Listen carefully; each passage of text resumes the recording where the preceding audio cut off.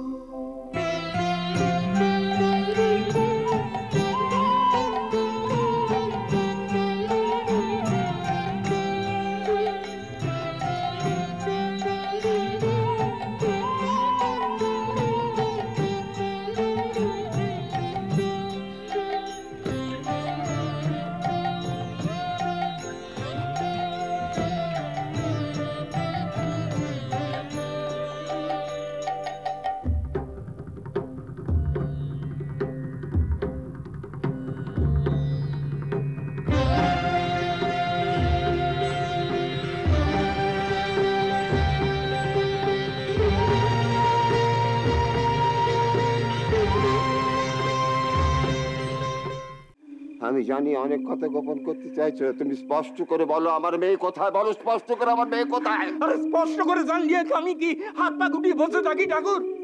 আমি অধিকারীর সঙ্গে একবার দেখা করতে চাই। গৌড়ের অধিকারী আমাদের কেউ হয় কিনা সুদচ্ছিল আর তোমার এমন চেহারা দেখে না তোমার উত্তরের কোনো ব্রাহ্মণ রাজার ছেলে মনে করিছে। বলো বিন্দু দিদি তুমি কি বলবে বলছিলে? কই বলো? নিমাই, নবদ্বীপে তুমি নাকি অনেক বড় কাণ্ড করেছ, যা সাধারণ মানুষ পারে না। শুনেছি কোনো এক ছোট জাতের মেয়েকে এক ঘাটের মরার হাত থেকে বাঁচিয়েছ। এছাড়া তর্কে হারিয়েছ বহু বুড়ো বামুনদের। আরও কত কি কত কি জানো তুমি? আচ্ছা নিমাই, তুমি তুমি জ্যোতিষ জানো? এই তোমার কথা? না জ্যোতিষ আমি জানি না। বিশ্বাস করো না। হ্যাঁ গ্রহ নক্ষত্রের অবস্থান জীবনকে চালনা করে। এটা গণিত জ্যোতির্বিজ্ঞান সেটা বিশ্বাস করি। কিন্তু সবকিছু ভাগ্যের হাতে ফেলে দিয়ে বসে থাকায় আমি বিশ্বাসী নই। কিন্তু নিমাই নবদ্বীপে তোমাকে নিয়ে তোমার ভবিষ্যৎ নিয়ে বহু লোক বহু আলোচনা করেন। সে তো সব ওই জ্যোতিষবিদ্যার জন্যই। তাহলে তাহলে তুমি পুরোপুরি বিশ্বাস করো না? না। নবদ্বীপে যা রটেছে, তার মধ্যে আমার স্বর্গত দাদু নীলাম্বা চক্রবর্তীর হাত ছিল। সবই তারই গণনা। এত বড় জ্যোতিষী হয়েও তিনি বুঝতে পারেননি আমার দাদার সন্ন্যাস যুগ ছিল। তো কি লাভ এই চর্চায়? কিছু লাভ নেই না। জ্যোতিষে কিছু মেলে না। কি ব্যাপার বলো তো? তুমি কিছু লুকাচ্ছ? কি? কোনো জ্যোতিষী কি কিছু? থাক না ওসব কথা। চলো ও বাড়িতে যাই। দিদি একা আছেন। এক্ষুনি বৈদ্য এসে যাবেন। তোমায় আজ বড় উদ্বিগ্ন লাগছে। কিছু না। আসলে আমি সব বুঝতে পারি। কেন মিথ্যে কথা বলছো? কি হয়েছে?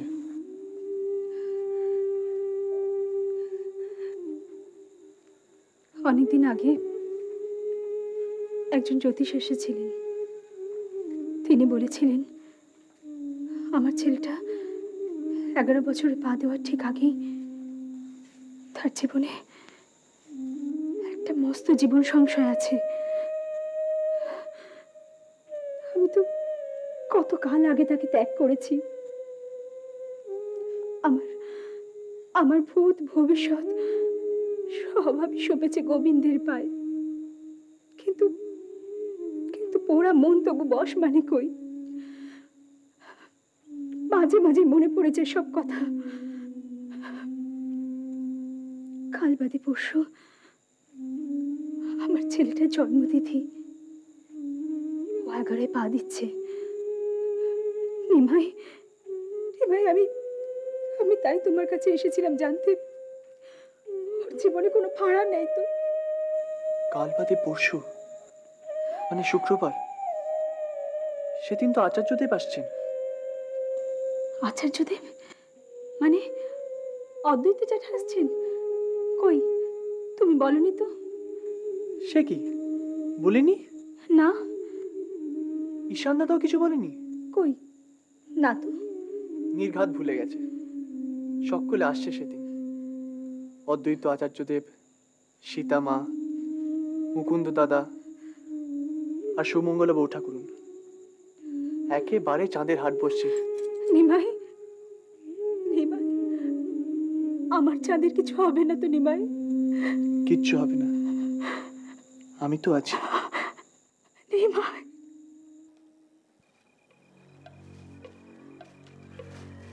কি হলো? পেলেন? আশ্চর্য। এত বড় একটা পার্বত্য যোজনের পর যোজন ধরে বিছিয়ে রয়েছে আমাদের বিহার আর গৌড়ের মাঝখানে।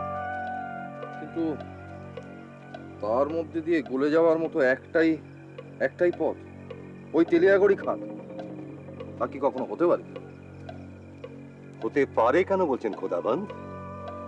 আল্লাহ তালা সৃষ্টি অদ্ভুত। আপনি সৈয়দ, আমি আফগান। আমাদের দুজনেরই পূর্বপুরুষ কিন্তু এই হিন্দুস্তানে ঢুকেছিলেন একটি সরু গিরিপথ দিয়ে, খাইবার। অত বড় হিমালয় পর্বত, কাশ্মীর দিয়ে শুরু। সেখানে ঢোকা বেরোনোর কি আর কোনো পথ আছে? ওই খাইবার ছাড়া? তাহলে আপনিও রাজমহলকে ঠিক একই রকম বলছেন? না অতটা না হলেও কঠিন বই কঠিন। একে উঁচু পর্বতায় ঘন জঙ্গল। আর শুধু মহানন্দা বা গঙ্গা নদী তো নয় রাজমহল পাহাড়ের ওপর অসংখ্য ছোট বড় নদী রয়েছে। আর এখন হেমন্তকাল শীত নামছে। এই সময় এই রাজমহল ডিঙিয়ে গৌড়ের এত বড় ফৌজের সঙ্গে লড়াই করার জন্যে দিল্লির সুলতান ইব্রাহিম লোদি নেমে আসবেন, এটা বিশ্বাস করতে মন চায় না। আর যাই হোক, পাঠান কিন্তু এতটা বোকা নয়। কিন্তু আমি কিছুতে নিশ্চিন্ত হতে পারছি না মিনাবাক্স লোদির ফৌজে হাতির সংখ্যা অনেক, আর কামতাপুরের রাজা তার বন্ধু। দুজনের মধ্যে হাতি বেচা কেনা হয়। এই রাজমহলের কোনা দুটো দেখুন পশ্চিম থেকে লোদি আর পূব থেকে কামতাপুর যদি একসঙ্গে আক্রমণ করে এখন তো হেমন্তকাল। তার মানে হাতির পোয়া বাড়ে আর তাই যদি হয়, তাহলে আমাকে পিছু হটে চলে আসতে হবে গৌড়। আর সেখানে হাফসিরা কি নতুন ষড়যন্ত্র পাকাচ্ছে কে জানে? আর আছে অধিকারী সুবুদ্ধি রায়। গস্তাখি মাফ করবেন খোদাবন্দ। ওই অধিকারীকে নিয়ে কিছু বলব? দেখুন, আপনি একজন হিন্দু কাফেরকে এত বড় রাজপদে বসিয়েছেন। তারপরে তো ওই রাজমহলের সৈন্য সংগ্রহের ভারও সুবুদ্ধির ওপর। কেন? তাতে কি আপনার বিশেষ কোনো অসুবিধা হচ্ছে? আমার? না না, আপনি আমাকে ভুল বুঝবেন না খোদাবান্ত আমি আমি শুধু বলতে চাইছি যে, হোসেন শাহ সার্কিকে মদত দেওয়ার জন্য আপনাকে যদি জৌনপুর অব্দি নেমে আসতেই হয়, তাহলে ওই রাজমহলের দায়িত্ব একজন হিন্দুর ওপর ছেড়ে দেওয়া কি ঠিক হবে? তাহলে খুব বড় ভুল হয়ে গেছে বলছেন। আপনার সামনে দাঁড়িয়ে আমি কি করে বলি বলুন? তাছাড়া এই হাফসিদের গোলমাল তো রাজধানীতে লেগেই আছে।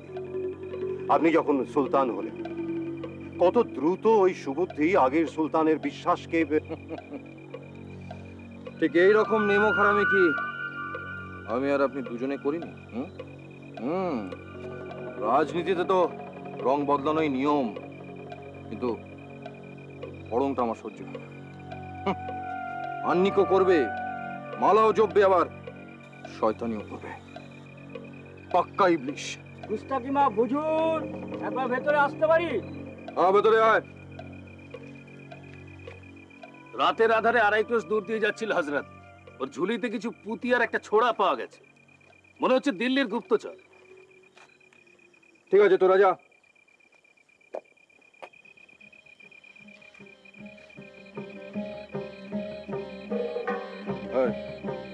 কে তুই? তুই আমাকে চিনিস?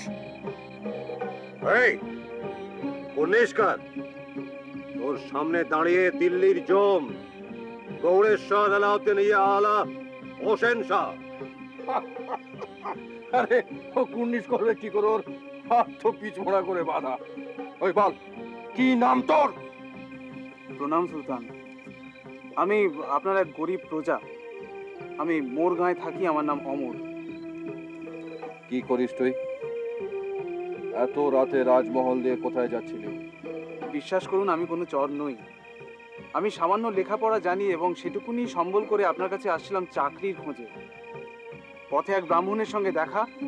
তিনি বললেন যে আপনার সঙ্গে দেখা করা খুবই কঠিন। তাই তাঁরই পরামর্শে আমি চলেছি রাজমহল সুবুদ্ধি রায়ের সঙ্গে দেখা করতে।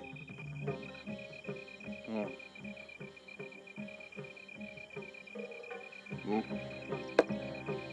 তুই লেখাপড়া কিছু জানিস? আগে আমি সংস্কৃতে কবিতা লিখতে পারি ফার্সিতে বয়েদ বানাতে পারি আমি কিছু কিছু হিসাব শাস্ত্রও জানি এবং আমি জানি প্রাণীবিদ্যা। জঙ্গলে জন্তুর পায়ে চলা পথ দেখে আমি অনেক কিছু বলে দিতে পারি। তাই? তাহলে বল তো বল যে রাজমহলের কি অবস্থা? কাছাকাছি কোনো বড় ফৌজ আছে? না হজরত, নেই। ফৌজ গেলে বহু ক্রোশ দূর অবধি মাটির তলার কীট পতঙ্গরা মাটির উপর চলে আসে। আমি পথে আসবার সময় তেমন কোনো চিহ্ন পাইনি। কাজেই আপনার সঙ্গে কোনো বড় ফৌজ নেই, অন্তত হাতি তো নেই।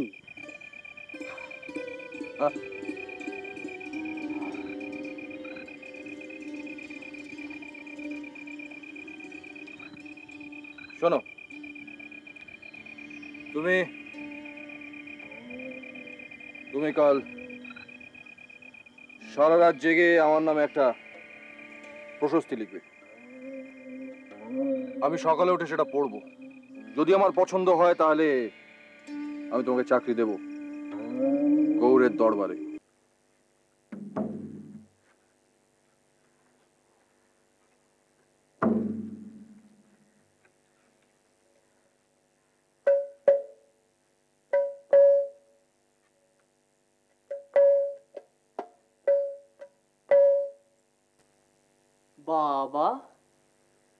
আজ যে চন্দ্রাবলী এত সাজ? তো সাত সকালে কোন গোবিন্দের মন ভুলাতে গেছিলে?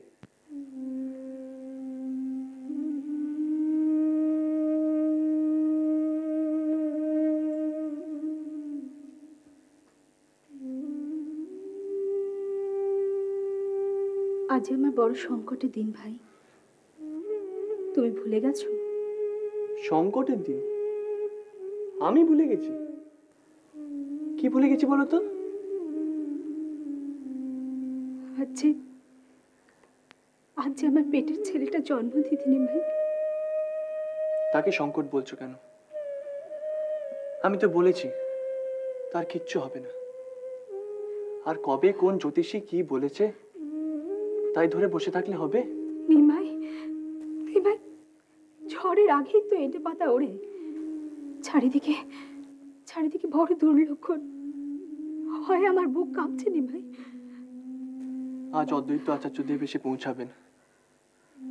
কতদিন পর তিনি আসছেন শান্তিপুরে? আর তুমি দুর্লক্ষণ দেখছ? নিমাই গত দুদিন তুমি দিদিকে দেখোনি।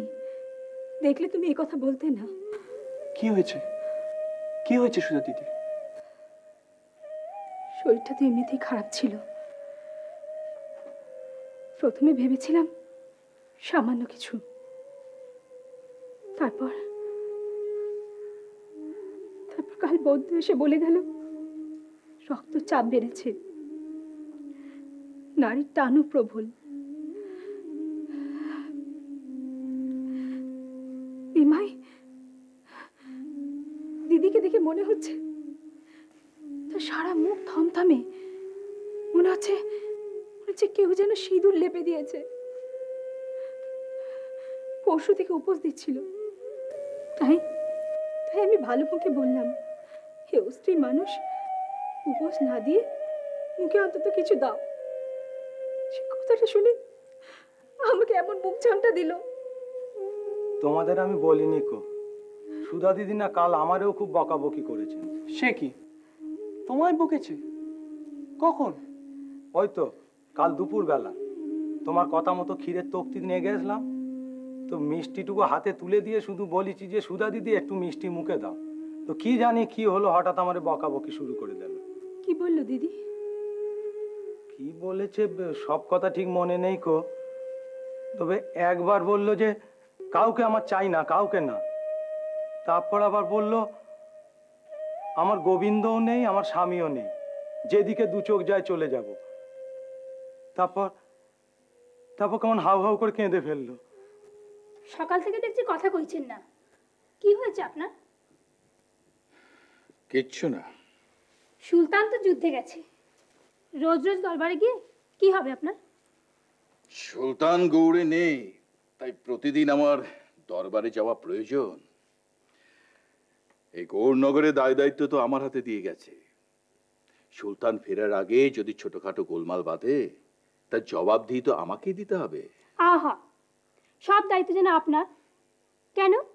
রাজ্যে কি আর কোনো লোক নেই যে কটা দিন চালিয়ে দেবে? থাকবে না কেন? উজির সিপাহসালার সবাই আছে। সবাইকে বাদ দিয়ে এই দায়িত্ব আমাকে দিয়েছে। তাতে তো একটা কথা পরিষ্কার যে আমার কাজ করার ক্ষমতা আর আমার সততা। কেউ কোনোদিন আমার দিকে কাদা তো ছিটোতে পারেনি? আমার দিকে অভিযোগের আঙুলও তুলতে পারেনি। একবারই তুলেছিল। কি বললে? না সেই একবারই তুলেছিল। সে তো অনেক দিনের কথা। আর লোকে হয়তো এখন ভুলেও গেছে। আবার সেই কথা। দেখো কমলা আমি তোমাকে আগেও বলেছি। মঞ্জুশ্রীকে ত্যাগ না করে আমার কোনো উপায় ছিল না। সে কথা আমি সুধাকেও বুঝিয়ে বলেছি, তোমাকেও বলেছি। সুধা আমাকে ভুল বুঝেছে, রাগ করে শান্তিপুরে চলে গেছে।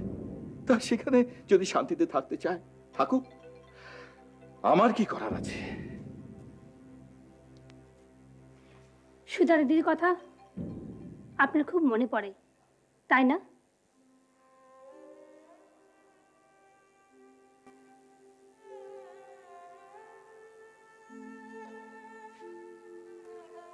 তোমার মনে পড়ে না?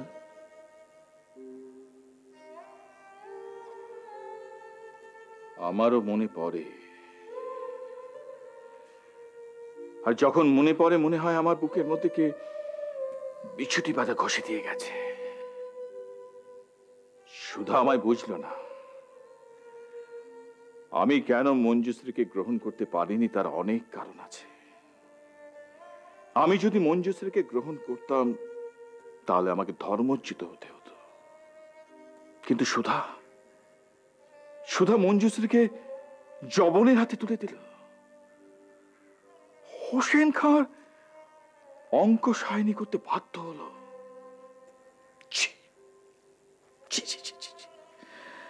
না না না, আমি ওকে কোনোদিন ক্ষমা করতে পারব না। আমি জানি তুমি সুধাকে ভালোবাসো। তাকে দিদি বলে ডাকো। আমার আড়ালে তুমি দুফোটা জলও ফেলো। তাতে কোনো আমার আপত্তি নেই। কিন্তু আমি তাকে ক্ষমা করতে পারব না কোনোদিন না। আমি আপনাকে একটা কথা বলব? আমার কথা রাখবেন?